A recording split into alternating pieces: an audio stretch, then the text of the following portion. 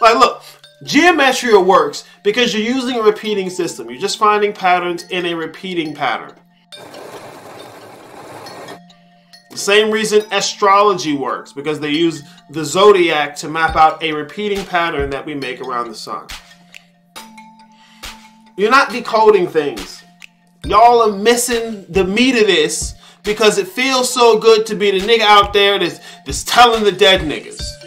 Hey, look, I'm waking people up. I'm gonna give them the motivation to finally wake up and not be dead niggas.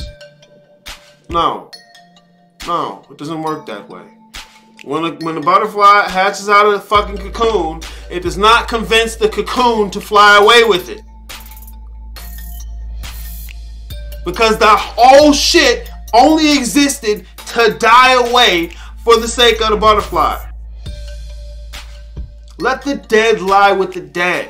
These motherfuckers are here to cult to, to, to, to facilitate. There's the word. Facilitate whichever motherfucker is gonna actually rise from this shit. And if you sit here focused on the dead niggas, it's cause you're one too.